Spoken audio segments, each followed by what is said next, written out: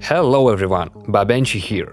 For about year and a half, my main CPU was i5-12400F, a really good budget choice for gaming and not demanding video editing. I started to encounter performance issues in After Effects especially, because most of the time After Effects use CPU power. Only these effects are accelerated by GPU. I started to think what CPU I can afford and chose i7-12700KF, 12 cores, 8 performance and 4 efficient, 20 threads in total, 4.7 GHz on P cores and 3.6 GHz on E cores, 10 nanometers Intel lithography. And why we all gathered? It's power consumption. So why that upgrade became a disaster for me? Because this Gigabyte B760M DS3H DDR4 good motherboard for CPU which power consumption does not exceed 100 watts. VRM has 9 phases. It's enough to keep stable power, but small heatsink doesn't make his job very well with power-hungry processors. i5-12400F in Cinebench R23 consumes only about 70 watts, without limits, and the motherboard VRM held up well and didn't overheat after a long time. But i7-12700KF without limits consumes barely 200 watts. Such load heats up the VRM up to 100 degrees Celsius in 30 seconds. CPU throttle frequency to lower heat. Okay, we keep in mind that Cinebench R23 bench consumes way more power than basic apps, so let's test in CPU-Z stress test. 140 watt consumption, and it takes about 1 minute and 50 seconds to reach 100 degrees. So what needs to be done to somehow correct the situation? Stupidly setting power limit to 100 watt, it's not the right way. If at rendering it doesn't make a big impact, cause power is limited and frequency is lower on some gigahertz. But working in After Effects, for example, power consumption in peaks practically can reach 140 watts. These power peaks don't impact VRM temperature that much, but if power is limited at 100 watts, it can cause stutters and freezes. Better way is to set PL1 and PL2 limit according to VRM capabilities. PL1 is a long-term limit. I set it to 105 watts. At that number, VRM heats up to 94 degrees. That is still a lot, but at least CPU doesn't throttle that much. PL2 is a short time limit. I set it to 150 watts for 60 seconds. That means the CPU is gonna consume max 150 watts if load is continued for 60 seconds. Then it drops to PL1 limit. Now the CPU consumes up to 150 watts in peaks without dropping frequency, and in constant load, like rendering, after 60 seconds CPU is limited to 105 watts. With these settings, VRAM is not frying. Maybe you have a question, why I brought i7 with K index? Very simple, in Lithuania local store i7 with K is cheaper than without K. Before upgrading, I knew that my motherboard VRM cooling is not gonna be enough, but not that much.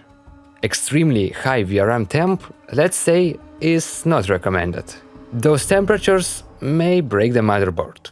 For now, I'm gonna use CPU with these limits. But for the future, I'm thinking about buying a new motherboard and a new PC case uh, with a PSU, because new case with good airflow can decrease VRAM temperatures. With the new power supply, I'm gonna feel safe, because you never know what can happen with PSU from McDonald's and Lego. More like Minecraft TNT. I'm just joking. It's Silence PSU on 500 watts. It really works within its capabilities. I hope nothing happens to it until I replace it with a new one. Because long time ago I had one power supply that just exploded.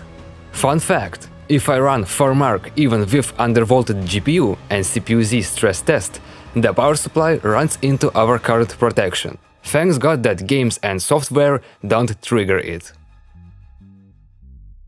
I thought that telling only about my controversial upgrade would be not very informative, so at the same time I decided to make Battle of Classes. Meet the i3 12100F best lower-end budget CPU, 4 cores, 8 threads, 4.1 GHz and 58 watts consumption. That CPU is gonna feel perfectly even on cheapest H chipset motherboard i5-12400F, good value mid-range CPU, 6 cores, 12 threads, 4 GHz and 69 watts consumption. I used it for one and a half year, and for gaming that's more than enough. Testing setup 32 gigs of RAM, 3200 MHz. GPU RTX 2060, 6 GB from Gigabyte with trash cooling system. Problem is, that heatsink surface has bad contact with chip, so I undervolted it a little bit, which not only decreased temperatures, but also decreased load on the PSU. All other specs on the screen. First of all, CPU-Z benchmark. Cinebench R23 is more intensive. Here is interesting i7 results. With power limits, CPU was working on slightly lower frequency, 3.9 to be right. At 105 watts, my cooler GAMMAXX AG500 keeps the processor temperature at 70 degrees. I think it's really good result for such a tower cooler. Now time for games. CS2 1080p low settings, tested in match replay i5 boosting its frequency even to 4.2 GHz.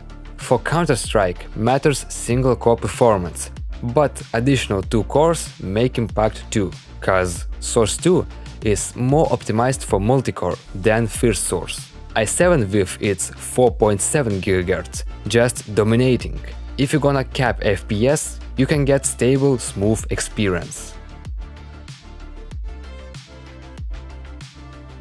Cyberpunk 2077 1080p DLSS ultra performance, low settings, except CPU intensive ones. Every CPU can provide more than 70 FPS. It's clear, of course, that in some more CPU intensive areas, i3 is gonna have FPS drops lower than 60. We can see that i3 have little stutters in gameplay. i5 and i7 doesn't have so much.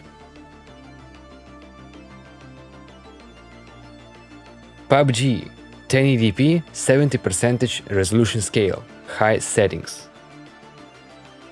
FPS difference is not that much. Every CPU can provide 120 plus FPS experience. i3 stutters a little bit, but not that much. It's not visible here, it's more visible in the scenarios where you drive around the map with a car. Need for Speed Unbound 1080p DLSS performance, low settings, except geometry detail. Interesting thing I see here. In all previous games, i7 usage was way lower than i3. Here is only 10 percentage difference. I would understand if FPS difference would be way more. But how good is i5 and i3 for its power consumption compared to i7?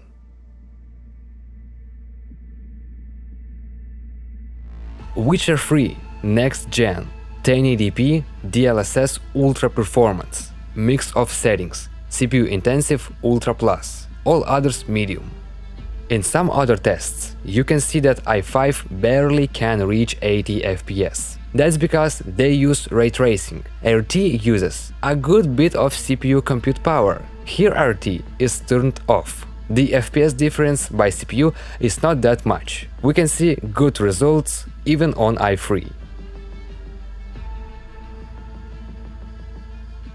The first Descendant 720p DLSS Ultra Performance Low Settings That game is an Unreal Engine 5 title. Uh, we know that UE5 games are kinda CPU intensive, but not in this case. The first Descendant is a multiplayer game and its code more optimized, like I see you're gonna have GPU bottleneck faster than limited by uh, CPU. Spider-Man Remastered 1080p DLSS Ultra Performance High Settings I have one hypothesis why there is such a small increase in performance. Spider-Man was a PS4 exclusive title PS4 APU has 8 cores on AMD Jaguar architecture, very similar to some FX architectures. In fact, from the point of view of processor logic, only 4 cores works as real cores, the other 4 as logical threads. So it turns out that the developers on the PC did not optimize the game that much, and the game fully works only with 4 cores and 8 threads. I7 shows a greater increase due to higher clock frequency. The Last of Us 720p FSR Ultra Performance minimum settings, except CPU intensive ones. Another example of console port. Here situation better. Game utilize way more cores than 4. Optimization is not ideal, actually i3 and i5 are barely the same percentage utilized, but difference in FPS is not comparable to increase in the number of cores. With i7 I have a GPU bottleneck, but still not that much increase.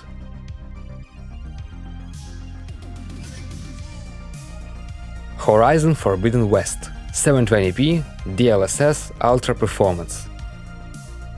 Lowering the graphics settings so low that GPU doesn't limit our CPU. At Horizon we have playable FPS on all CPUs.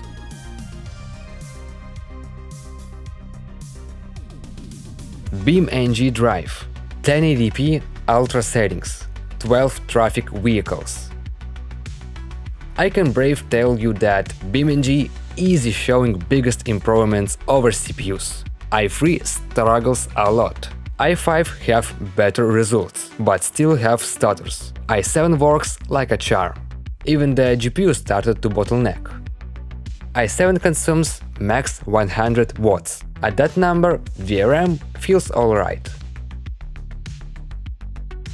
So i5-12400 is the best budget CPU? That question you should answer for yourself. But personally for me, yes. But if I were to build a new mid-budget PC for someone else, not myself, I would better choose i5-13400F. After all, PC is a universal thing, and having additional 4 E cores for work tasks or background apps while gaming will not be superfluous. The i3-12100F is still the best ultra-budget CPU. For some reason, AMD abandoned making new Ryzen 3 CPUs. In fact, nearest i7-12700KF concurrent in work tasks are i5-13600KF. It has the same thread count, but collects a little bit more scores in synthetic benchmarks. In gaming 13600KF is also better. So 12700KF is a cheap variant and a bit slower. I know that in different countries CPU prices can differ. Maybe 13600KF in your country costs less than in mine. Thanks for watching, I hope that video was informative and interesting. If you enjoy, subscribe and leave a like. And see you next time.